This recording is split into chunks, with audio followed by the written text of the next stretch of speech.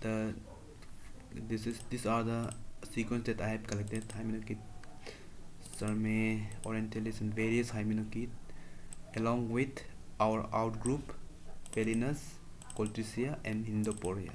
All these are outgroup. Same in case of ILSU. we have Phellinus Coltricia and Hydnoporia so this is the uh, this is our files.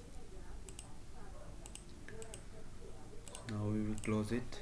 And after downloading it you should download a software called bioedit. You can google it.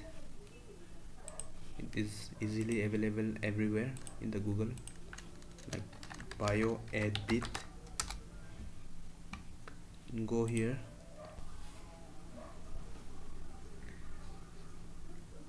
and you can download from here or you can just go to the official website here bioedit.com and download from here. So after the downloading file after downloading you will your file may look like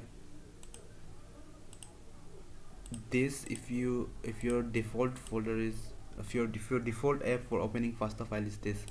But I choose to keep it like notepad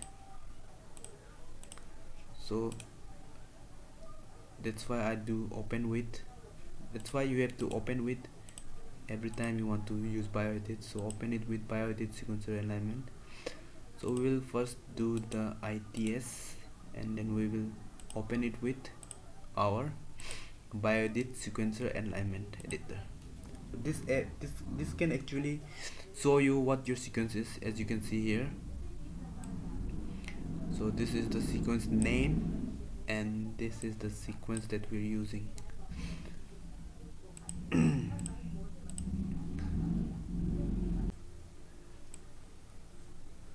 So in future when we're going to do further analysis uh, this name with this uh, columns and this various special characters other than number and uh, alphabet are going to disturb so we're going to change the name first.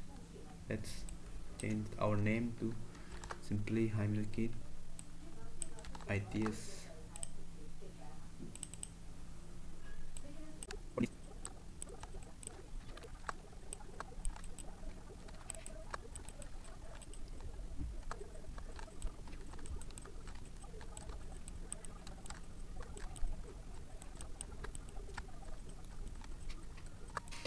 so we're done with it so we'll save it and we are going to do the same thing for so we're done with it so we'll close close it and we'll do we'll do the same thing for LSU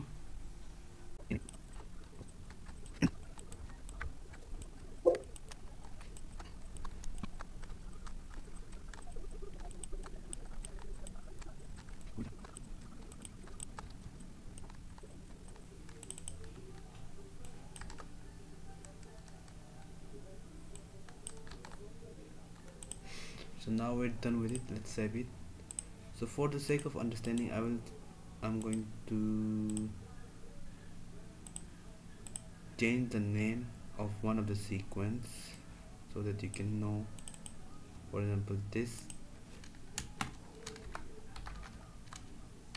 I will put some special characters you can see and save it.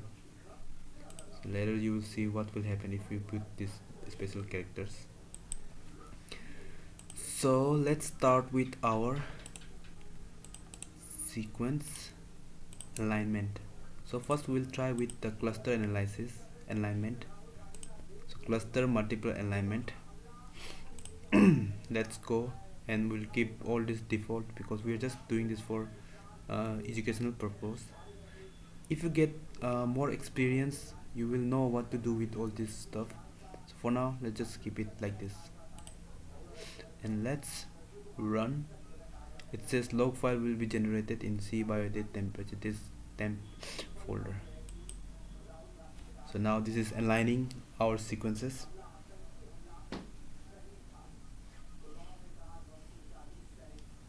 So it is done with the sequence alignment. So now we have to see how much sequence are similar. So up to this we can say that most of the sequences are similar so we will delete from here because this remaining sequences are ambiguous that's why. So how we're going to do that? So first go to take click this edit and then left click from here to here. Sorry from here to here. And then just press delete so it's gone. And from here also we will choose um, right up to let's choose light right up to here.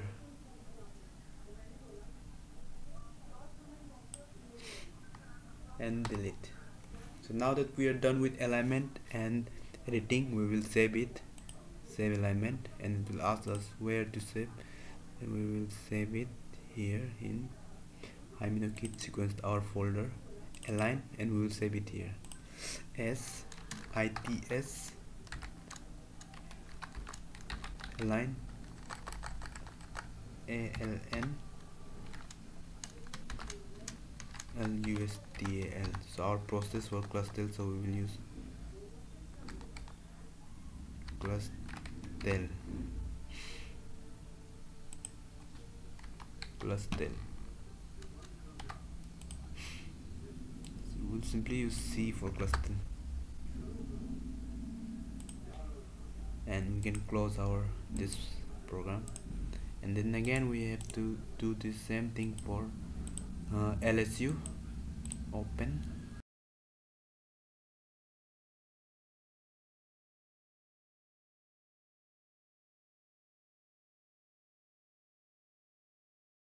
and this C. So this is Clustal and we will save it in FASTA format. Sorry I forgot to mention before. We will save it in FASTA format.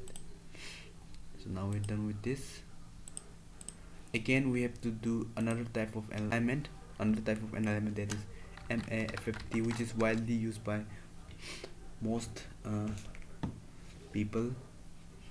So just go to this website JP1 MAFFT CRB CBRC JP okay Japan.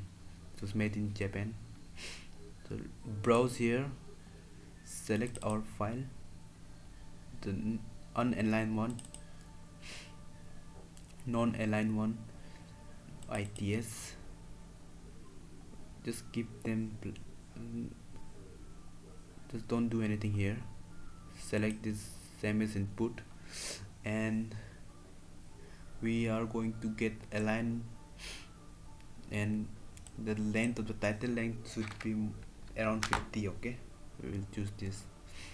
And then we have to we don't have to do anything because this new auto function is available in this website.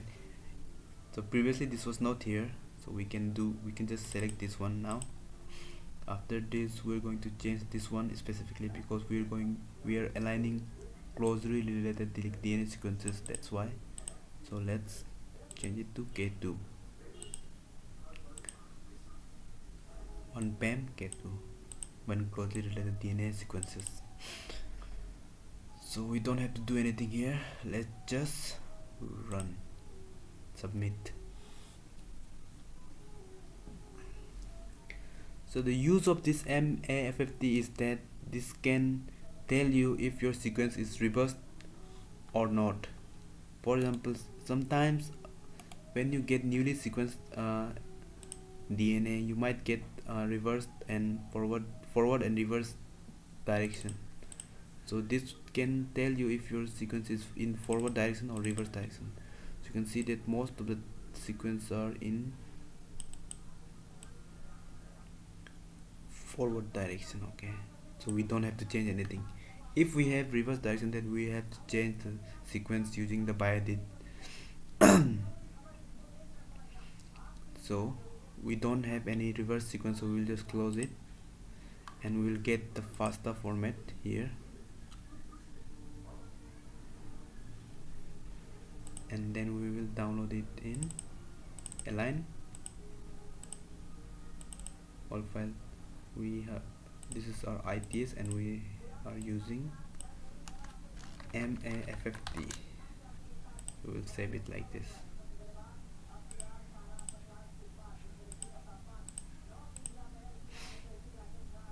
And then again we have to choose another file here.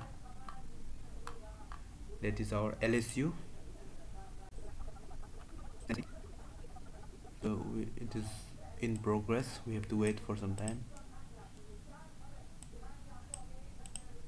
it will automatically load so we don't have to do anything.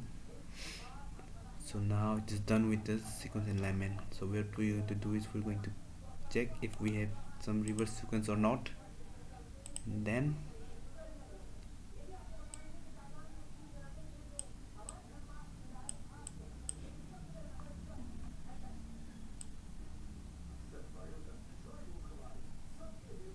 so we don't have any reverse sequences.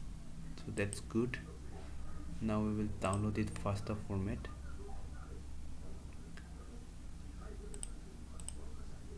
LSU MAFFT so now we're done with both type of alignment. And in our next lesson we are going to merge two sequence that is ITS and LSU and do the further analysis. Thanks for tuning in. Thank you